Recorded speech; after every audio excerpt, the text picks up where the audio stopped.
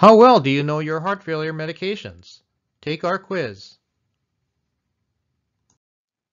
Now that you've completed watching my four-part series on heart failure, here's a quiz to gauge how well you retain the material. And even if you haven't watched my videos, take the quiz anyway to see how well you do. There will be 17 questions. After each question, I'll leave a gap of time so you can think of the answer. Place the video on hold if you need more time. Okay, here we go. Question number one. Heart failure is the second leading cause of hospitalization in patients older than 65 years. True or false?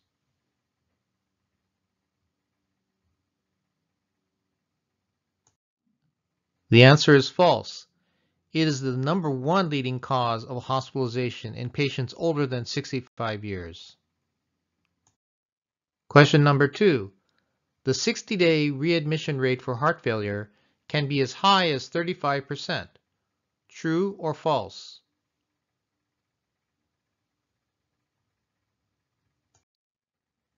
The answer is true. Question number three. The five-year mortality of heart failure is approximately A. 10%, B. 25%, C 50%, or D 75%?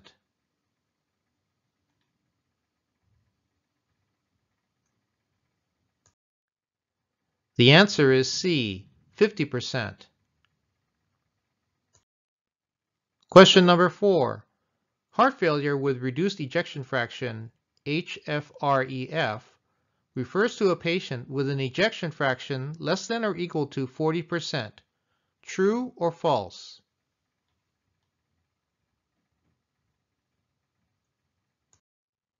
The answer is true. Question number five. B-type natriuretic peptide, BNP, levels that are less than 400 picograms per ml are highly indicative of heart failure. True or false?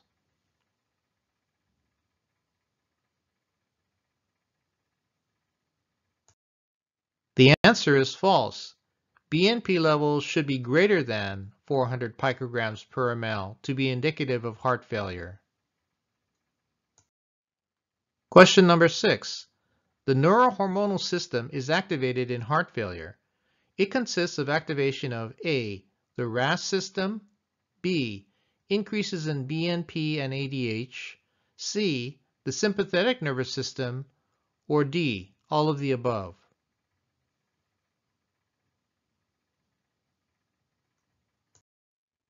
The answer is D, all of the above. Question number seven. The fundamental drugs used in heart failure include all of the following except A. ACE inhibitors ARBs, B. Beta blockers, C. Ivabradine, or D. Spironolactone.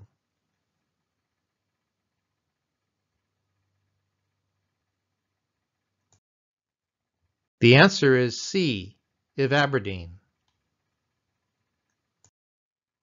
Question number eight. A majority of heart failure patients do not take all three traditional drugs, and many do not reach their targeted dosages. True or false?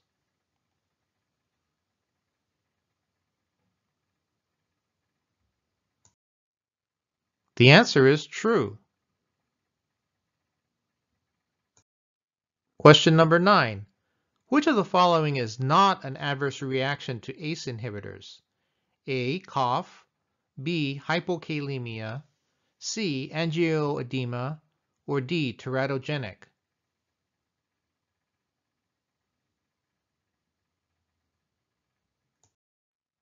The answer is B. Hypokalemia.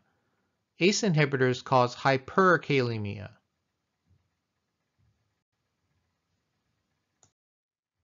Question number 10. Sacubitril is a neprilysin inhibitor that decreases BNP levels. True or false?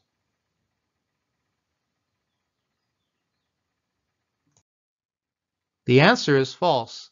Sacubitril increases BNP levels. Question number 11. One concern surrounding the use of valsartan sacubitril is its potential to lead to A. Ketoacidosis, B. Bladder cancer, C. Alzheimer's disease, or D. Bone fractures.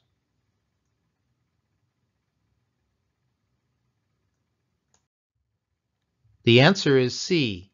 Alzheimer's disease. Question number 12.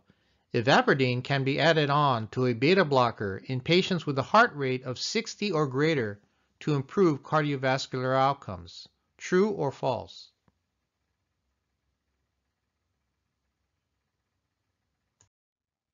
The answer is false. Only for those patients with heart rates of 70 or greater benefit from the addition of ivabradine. Question number 13. Tolvaptan, a vasopressin receptor antagonist, failed to show any significant benefit on clinical outcomes when added to traditional therapy. True or false?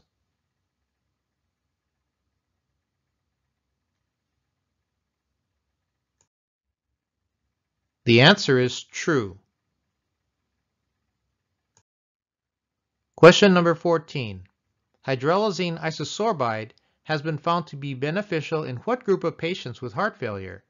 A. Hispanic patients, B. African American patients, C. Asian patients, or D. Caucasian patients?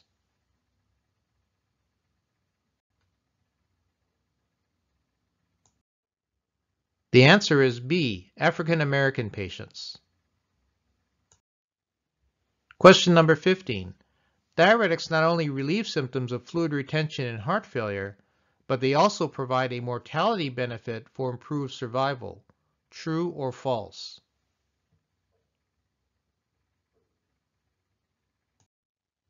The answer is false. Diuretics do not provide a mortality benefit. Question number 16.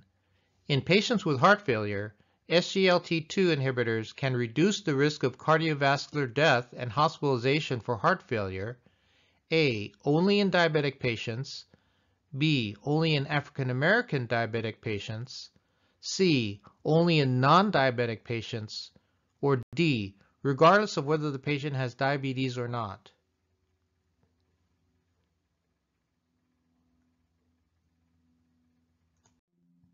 The answer is D, regardless of whether the patient has diabetes or not. And now the final question, number 17. Vericiguat stimulates which enzyme to increase production of cyclic GMP to cause vasodilation? A angiotensin converting enzyme, B. neprilysin, C. nitric oxide synthetase, or D. guanylate cyclase.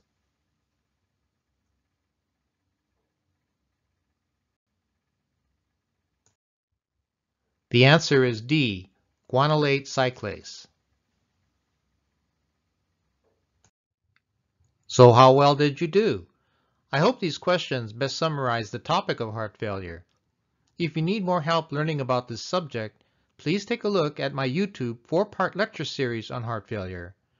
And stay in touch with us at the PharmEZ Tutor for more lectures on pharmacy and medicine-related topics. Thanks for tuning in to watch this installment of the PharmEZ Tutor. I hope you learned something that you could use at school or in practice. If you'd like to continue to see more of these types of tutorials on YouTube, please make sure to click on the subscribe button below to change it from red to gray. Also, if you like this video, I would appreciate it if you can click on the thumbs up icon below to change the color to blue. If you have any comments or questions, please feel free to add them in the comments section below or share this site with someone else. Stay tuned to the PharmEZ Tutor channel for more lectures in the upcoming weeks. So until next time, remember to take it easy.